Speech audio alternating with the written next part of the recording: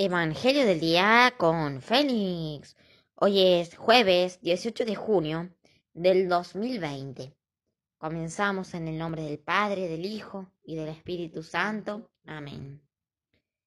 Primera lectura. Lectura del libro del Siráside, eclesiástico. En aquel tiempo surgió Elías, un profeta de fuego.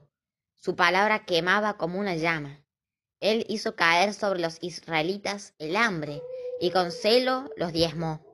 En el nombre del Señor cerró las compuertas del cielo e hizo que descendiera tres veces fuego de lo alto. Qué glorioso eres, Elías, por tus prodigios. ¿Quién puede jactarse de ser igual a ti? Tú resucitaste del sepulcro a un muerto, lo arrancaste de la muerte por la palabra del Altísimo. Tú llevaste la ruina a los reyes y la muerte a los príncipes en su lecho. Tú escuchaste las amenazas de Dios en el Sinaí y sus palabras de castigo en el Oreb. Tú ungiste a reyes vengadores y nombraste como sucesor tuyo a un profeta. En un torbellino de llamas fuiste arrebatado al cielo sobre un carro tirado por caballos de fuego. Escrito está de ti que volverás cargado de amenazas en el tiempo señalado, para aplacar la cólera antes de que estalle para hacer que el corazón de los padres se vuelva hacia los hijos y congregar a las tribus de Israel. Dichosos los que te vieron y murieron gozando de tu amistad, pero más dichosos los que estén vivos cuando vuelvas. Cuando Elías fue arrebatado por el torbellino, Eliseo quedó lleno de su espíritu. Ningún príncipe lo intimidó, nadie lo pudo dominar, ninguna cosa le era imposible, y aun estando en el sepulcro, resucitó un muerto. En vida hizo prodigios y después de muerto, obras admirables. Palabra de Dios. Ya la vamos, Señor. Al Salmo responsorial número 96, vamos a responder todos juntos. Que se alegren los justos con el Señor. Todos. Que se alegren, los justos con el Señor. Reina el Señor, alégrese la tierra, cante de regocijo el mundo entero. El trono del Señor se asienta en la justicia y el derecho. Todos que se alegren los justos con el Señor. Un fuego que devora a sus contrarios, a nuestro Dios precede. Deslumbran sus relámpagos el orbe, y viéndolos la tierra se estremece. Todos que se alegren los justos con el Señor. Los montes se derriten como cera ante el Señor de toda la tierra. Los cielos pregonan su justicia, su inmensa gloria ven todos los pueblos, todos, que se alegren los justos con el Señor, los que adoran estatuas, que se llenen de pena y se sonrojen, lo mismo el que se jacta de sus ídolos, que caigan ante Dios todos los dioses, todos, que se alegren los justos con el Señor. Aleluya, aleluya. Hemos recibido un espíritu de hijos que nos hace exclamar, Padre, aleluya, aleluya.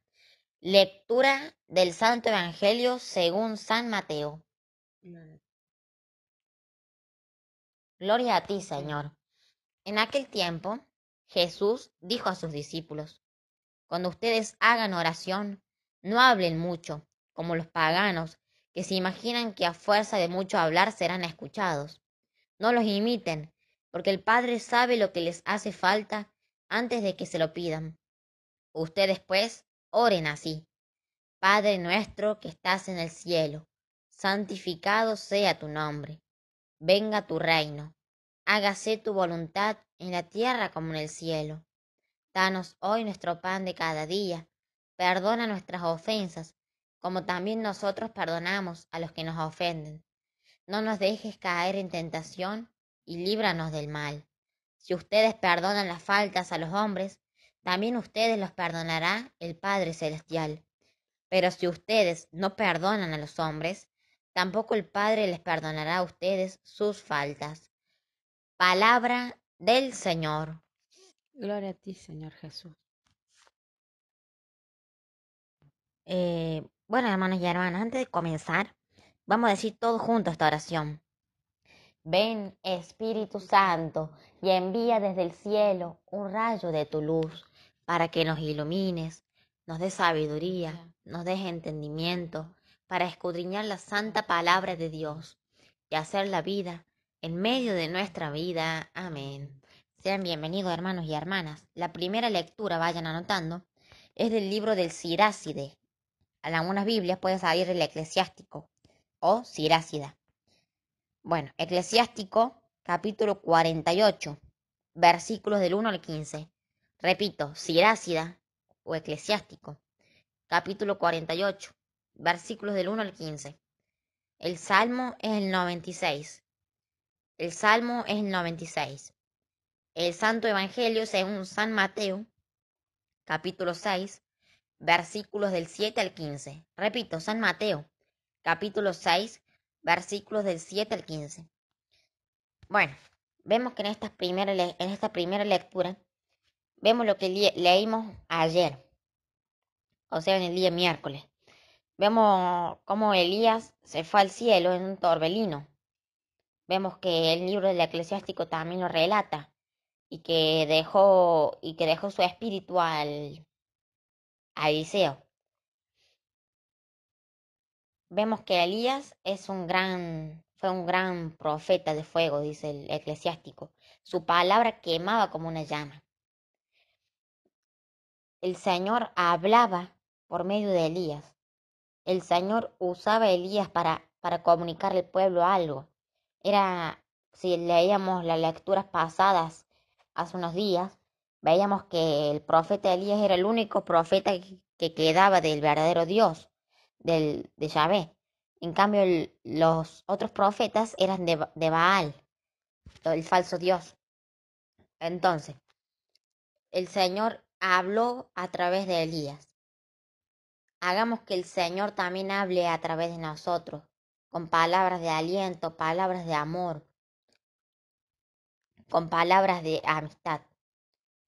Vemos que, que dice el eclesiástico en esta primera lectura, Escrito está de ti que volverás, cargado de amenazas en el tiempo señalado, para aplacar la cólera antes de que estalle, para hacer que el corazón de los padres se vuelva hacia los hijos y congregar a las tribus de Israel. Bueno, esto hace alusión a Juan el Bautista. Si nosotros vemos en el Evangelio, Juan el Bautista se presenta como, como una Elía, como que el espíritu de Elías. El Señor lo dice también en el Evangelio cuando viene de la, cuando baja de la transfiguración. En el Evangelio según San Mateo, la transfiguración está en el capítulo 17, versículo del 1 en adelante. Y en el de Lucas está en Lucas 9, versículos del 1 también hasta, hacia adelante. Podemos ver que, que Jesús le dice, le dice, o sea, primero le dicen los discípulos, no, está escrito, no es cierto que, que Juan el Bautista, que perdón, que Elías debe venir primero.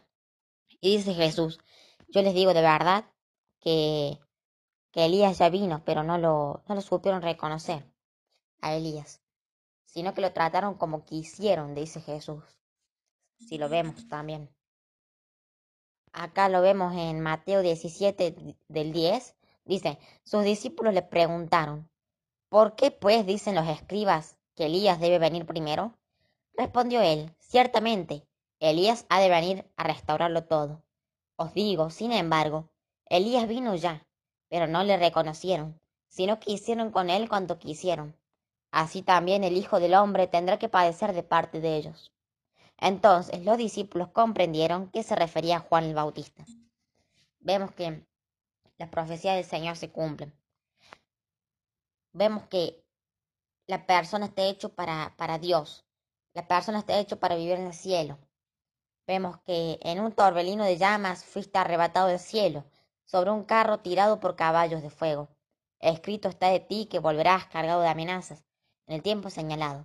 Pero Elías subió al Señor, y eso es lo que tiene que hacer el humano. El humano tiene que tirar para hacia arriba, para el cielo. Y el Salmo nos invita a que nos alegremos los justos en el Señor, que se alegren los justos con el Señor. Que nos alegremos, reina del Señor, alégrese la tierra, cante de regocijo el mundo entero. Bueno, hermano, en, el Evangelio vemos que Jesús nos enseña el Padre nuestro, el que sabemos hacer nosotros. Ustedes seguro tienen un amigo que dicen que no se tienen que rezar al Padre Nuestro, puede ser evangélico, puede ser protestante. Le va a decir que no, que el Padre Nuestro no, no, no. Ustedes díganle Mateo 6, del 9 en adelante. Díganle así a ustedes, porque ahí está escrito el Padre Nuestro. Ustedes pues oren así, Padre Nuestro que estás en el cielo. Y así. Siempre y cuando meditemos y, pensemos lo que decimos, no decirlo por decir. Y la aclamación delante del Evangelio, que me parece que es algo para recalcar, saca, la saca de Romanos 8, 15. Romanos 8, 15. Dice, hemos recibido un espíritu de hijos que nos hace exclamar Padre. El Señor quiere que lo tratemos como un Padre, ese Padre que está en el cielo, ese Padre de amor, ese Padre dispuesto a escuchar a sus hijos, ese Padre que cuida a los hijos. Bueno, hermanos y hermanas, podemos, pudimos escuchar el Evangelio, podemos dar gracias a Dios de poder escuchar el Evangelio de hoy. Que Dios los bendiga y los acompañe. Terminamos en el nombre del Padre, del Hijo y del Espíritu Santo. Amén. Le damos gracias acá a mi mamá que estuvo conmigo, acá haciéndome ayuda. Y bueno, y nos vemos mañana con el Evangelio del Día.